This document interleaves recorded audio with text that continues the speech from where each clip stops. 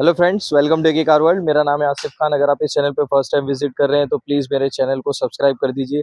इस वीडियो को लाइक कीजिए। इस वीडियो को एंड तक देखिएगा। आज हम देखने वाले हुंडई क्रेटा फेसलिफ्ट का। आप ये देख रहे हैं बेस वेरियंट को।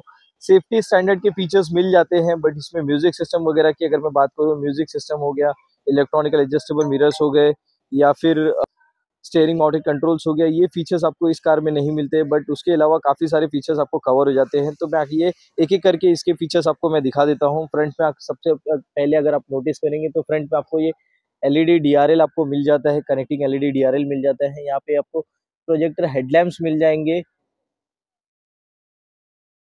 फ्रंट इसका लुक कुछ ऐसा दिखता है आपको। साइड पोर्शन की अगर मैं बात करता हूँ तो साइड पोर्शन यहाँ से आप देख सकते हैं कि इसमें बॉडी कलर आपको हैंडल मिल जाएगा।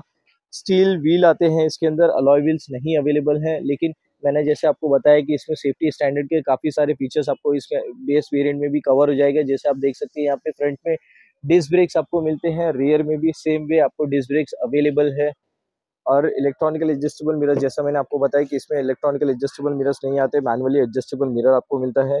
ड्राइवर डोर पे अगर आप नोटिस करेंगे तो ड्राइवर डोर पे आपको काफ़ी सारे फीचर्स मिल जाते हैं। जैसे यहाँ पे सेंट्रल लॉकिंग का ऑप्शन मिलता है ऑल फॉर पावर विंडोज़ का कंट्रोल मिलता है और यहाँ पर आप देख सकते हैं कि आपको पीछे की विंडोज़ लॉक करने के लिए ऑप्शन मिल जाता है।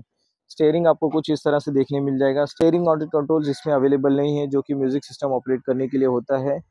जैसा मैंने बताया, आपको म्यूज़िक सिस्टम इसके अंदर अवेलेबल नहीं होता है तो उसके अंदर आपको जो एक ये ब्लैंक फ्रेम मिल जाएगा, जिसमें आप म्यूज़िक सिस्टम एडिशनली फिटिंग कर सकते हैं।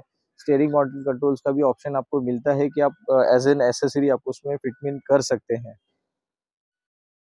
ऑटो क्लाइमेट कंट्रोल एसी की अगर मैं बात करता हूँ तो ऑटो क्लाइमेट कंट्रोल इसमें नहीं मिलता है, आपको मैनुअली एसी मिल जाएगा, लेकिन चार्जिंग पॉइंट आपको मिल जाता है इसके अंदर। सी टाइप चार्जिंग पोर्ट मिलता है एक, और आपको एक चार्जिंग एक्सेसरी सॉकेट मिल जाएगा, जिसमें आप चार्जिंग सॉकेट भी डाल सकते हैं। ड्राइवर सीट हाइट एडजस्टमेंट का ऑप्शन आपको मिल जाएगा इसके अंदर, की आपको इसको, इसका कुछ इस तरीके से मिलता है इसमें आपको lock unlock and boot opening का ऑप्शन मिल जाता है। फोल्डेबल की दो की के साथ आपको अवेलेबल है। आइडल स्टॉप एंड गो का भी फ़ंक्शन आपको अवेलेबल मिल जाता है इसके अंदर। और सेफ्टी स्टैंडर्ड जैसे मैंने बताया, इसके अंदर काफ़ी सारे फीचर्स अवेलेबल है। तो इसके अंदर आपको सिक्स एयरबैग स्टैंडर्ड मिल जाएगा। बेस वेरिएंट्स आपको सिक्स एयरबैग्स मिल जाते हैं। तो इस कार को हम लोग रियर से भी एक बार देख लेते हैं। रियर में आपको रियर एसीवेंट्स अवेलेबल है। दो सीट है पोर्ट चार्जिंग अवेलेबल है। मोबाइल होल्डर आप यहाँ पे देख सकते हैं मिल जाएगा आपको। सीट में आपको 60 40 रिक्लाइनिंग का ऑप्शन मिल जाता है with centre armrest and seat one step recline आपको रिक्लाइन कर सकते हैं जो ज़्यादा बेटर कंफर्ट के लिए। रियर की अगर मैं बात करता हूँ तो रियर में इसमें आपको सेफ्टी पे से, रियर सेंसर अवेलेबल है। कैमरा वाइपर वॉशर डिफॉगर ये फीचर्स नहीं मिलते इसके अंदर। इसके ऊपर वाले वेरियंट में, बाकी सारे वेरियंट में आपको काफ़ी ज़्यादा फीचर्स मिल जाएँगे। तो कितना इन्फॉर्मेटिव लगा ये आपको वीडियो मुझे कमेंट्स में ज़रूर बताइए। इस वीडियो को लाइक कीजिए चैनल को सब्सक्राइब कर दीजिए। Thank you so much